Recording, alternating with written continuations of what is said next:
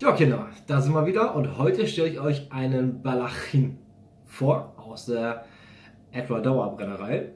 Seid gespannt, wir starten wie immer, jetzt geht's ab.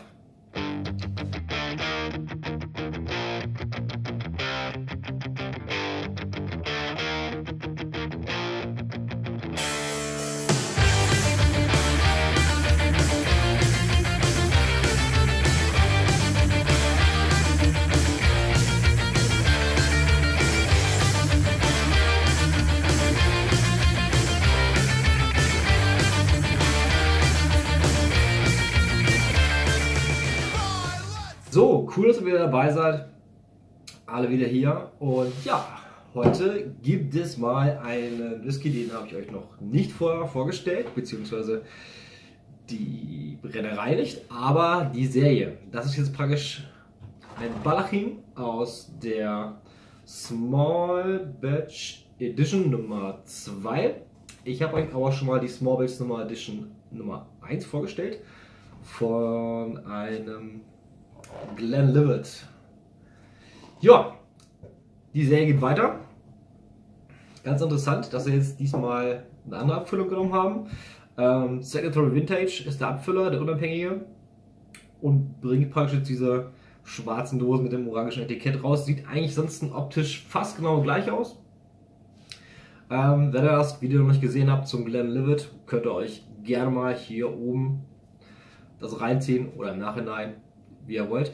Ja, ähm, der hätte mir damals schon ganz gut gefallen und ich fand es ganz interessant, dass sie das jetzt praktisch wieder weitergeführt haben mit dem Balachin, ähm, einer rauchigen Variante praktisch des Edward Dauer. So, hier ist das Schätzchen. Ja, sag's euch mal ein bisschen. Ist schon optisch glaube, erstmal habe ich ein bisschen gemeckert. Mittlerweile würde ich sagen, habe ich mich dran gewöhnt. Ähm, ja, irgendwie doch ganz cool, ne? Weil dieses Orange fällt ja doch schon ein bisschen ins Auge. Von der Dose her, naja, okay, also es ist immer noch nicht schöner geworden, aber es ist okay. Ähm, was ich halt auch ganz geil finde an der Serie, ist hinten die schöne Beschreibung halt eben auch nochmal das Ganze. Wird auch hier wirklich angegeben, was ist genau drin, welches Fass besteht, äh, besteht beziehungsweise aus vier verschiedenen Fassnummern. Da haben wir einmal ein Second Fill Sherry Butt Nummer 167, dann noch eins mit 168 und dann noch zwei First Fill Bourbon Barrels mit der 158 und 159. Ja, und destilliert die ersten beiden, die Sherry Butts am 11.04. und die Bourbon Barrels am 4.04. jeweils immer 2007. Ja. Das Ganze kommt, also gebottelt am 22.10.2018. Also letztes Jahr kam es auch schon auf den Markt. Jetzt haben wir 2019. So, ja, das Ganze wie immer nicht gefärbt, nicht kühl gefiltert von Signature Vintage. Ich konnte erstmal einchecken, ne? Ich habe ihn noch nicht probiert, auch wenn er schon mal so raus ist. Ich muss schon wieder was abgeben. Ähm, bin da wirklich gespannt. Bis jetzt habe ich von Edward Dauer eigentlich nur leckere Sachen getrunken. Könnte mich eigentlich an nichts Schlechtes erinnern, oder wo ich sage, vom schlechten Preis-Leistungsverhältnis wüsste ich jetzt so aus dem Kopf gar nicht. Ähm, ja, und Stereotrui führen das hier schön weiter. Das ist natürlich auch ähm, nicht so schwer für die, weil praktisch Signatory irgendwann die Brennerei, ähm, ja, praktisch die Hausmarke von Signatory Vintage vom Abhänger Abfüller ist halt Dauer, das haben sie gekauft. Ja, dann, das ist auch noch draußen, sieht schön aus. Ähm, kann man natürlich auch so schöne Sachen rausbringen. Kommt jetzt, was habe ich bezahlt? 60 Euro, glaube ich. Ja, also ist auch noch erhältlich jetzt, Januar 2019. Und ähm, kann man nicht meckern, ne? 48,1, genauso wie die erste Ausführung. Ähm, Unterschied bei der ersten waren es eigentlich meiner Meinung nach nur First Fill. Kurz rein. Äh, genau. First Fill Hawksheads und First Fill Chevy Butts. Also ein sehr kräftiger Malt auf jeden Fall. Ähm, ja, dafür habe ich das diesmal nicht, sondern ein Refill, dafür First Fill Bourbon Barrel und ich habe Rauch. so, ähm, ja, schauen wir mal. Ne? Wie gesagt, mein erster Balachim klingt so ein bisschen wie ich rotze mir gerade ins Taschentuch. ja, ähm, gut. Schauen wir mal. Freue mich drauf. Von der Farbe, ja, jetzt habe ich gerade nichts hier, aber es sieht schon, es ist schon eine schöne Farbe auf jeden Fall. Ne? Kommt zwar nicht an die First Fill Geschichte vom Small Batch Nummer Edition Nummer 1 ran, aber es geht schon ins Gold. Ja. Und auch schon leicht, leicht dunkler Leuchtton. Goldton, ja. Mhm. kann, man, kann man so stehen lassen.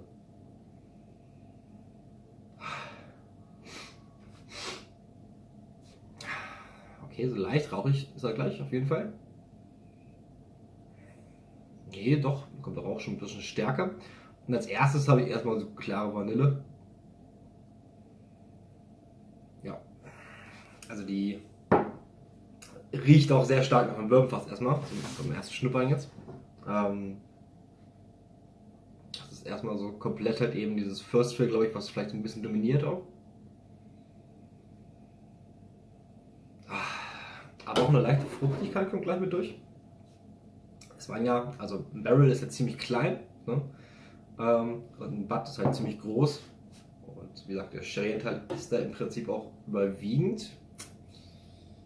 Ja, heavily peated schreiben sie drauf. Also, ich habe gar nicht geguckt, wie viel es von der ppm-Zahl ist, aber soll es gar nicht mal so wenig sein. Äh, beim Umfüllen, wo ich praktisch, ich hatte schon ein Sample abgefüllt, da kam schon im Glas, also in der Becher, ne, wo ich es umgefüllt habe, war schon heftiger Rauch und dachte mir, uh, hat doch ganz schön Bums. Ähm, habe ich jetzt noch gar nicht so stark, also schon schön eingebunden, der Rauch. Das, er liegt ja nicht so drüber, er ist da wirklich schön mit, mit drinne. Oh ja, jetzt kommt, die, jetzt kommt eine schöne Süße.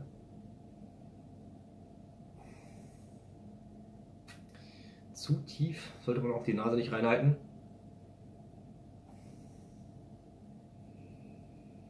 ist schon so ein bisschen. Es hat so ein bisschen was Maritimes, muss ich dazu eigentlich sagen. Ist etwa Dauer ja nicht, aber es ist. Es, also würde jemand sagen, im Blind Tasting würde ich jetzt auf dem Eiler mal tippen. Ganz klar, ja.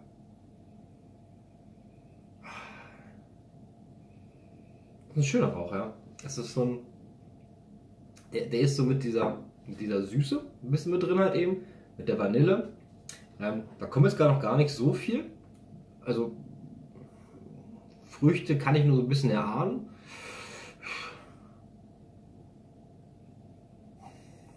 Auch riecht sehr lecker, ja. Also sehr, sehr süß. Erinnert mich so ein bisschen an Lafroy PX Chaos.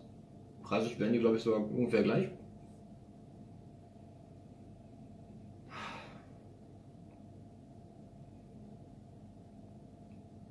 Ich probiere mal. Slatsche.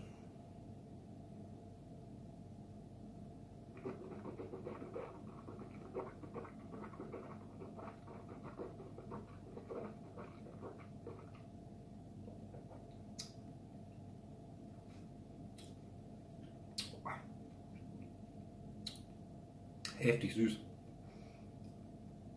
Kräftig. Kommt schön. Hm. Und die Süße und der Rauch total in, in Einklang, sag ich mal. Ähm, geht schön mit. Aber die Vanille, Honig, ne, das ist, das ist komplett da. Hm. Tut mich aber auch also ein bisschen lustig am Abgang. Tut mich aber auch jetzt wirklich schwer, da so wirklich viel rauszuschmecken. Er ist schon sehr einfach, muss ich sagen. Alt ist er denn überhaupt? Ja, müsste ja. Oder sieben Jahre, ne? Äh, äh Quatsch. Elf Jahre ist er. Elf Jahre, ja. Ähm, wir hatten guten Antritt durch die 48,1%. Lecker, ja. kann man jetzt blöd vergleichen, ne? Aber ähm, wenn ich mir jetzt mal den Edward Dauer nehme, ähm, aus der Anchill Filter Collection, ich glaube 46% in einem reinen Sherry Cast, das ist ja die gleiche Brennerei,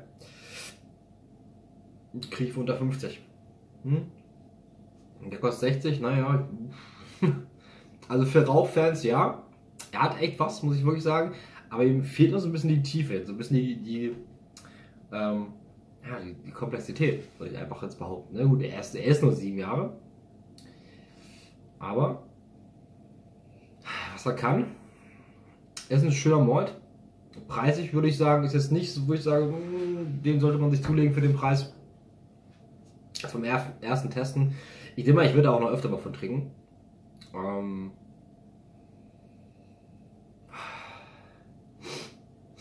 ist einfach, ja. Muss man wirklich sagen.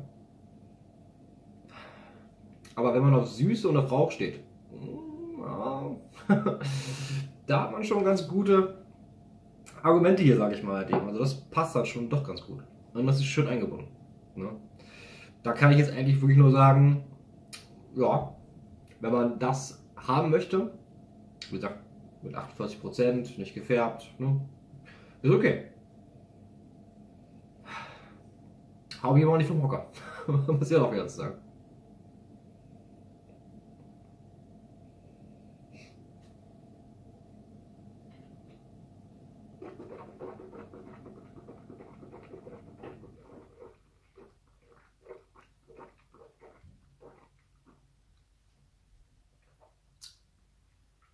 Ja. Tisch so platziert. hm. Es ist ein guter Mord. Okay. Lassen wir das so stehen. Bevor ich hier weiter rumstotter. ähm, ja, ja, schaut euch mal an. Oder fragt mich, wenn ihr ein Sample haben wollt, gebe ich gerne was ab. Ähm, schaut euch auch gerne nochmal vielleicht mal ein Video zum kleinen Limit an. Das blende ich euch hier mal ein. Und wenn ihr Bock habt, könnt ihr natürlich auch gerne meinen Kanal abonnieren. Würde mich mal freuen. Ja, lasst einen Daumen nach oben da, wenn ihr schon dabei seid. Und haut rein. Bis zum nächsten Mal. Ciao.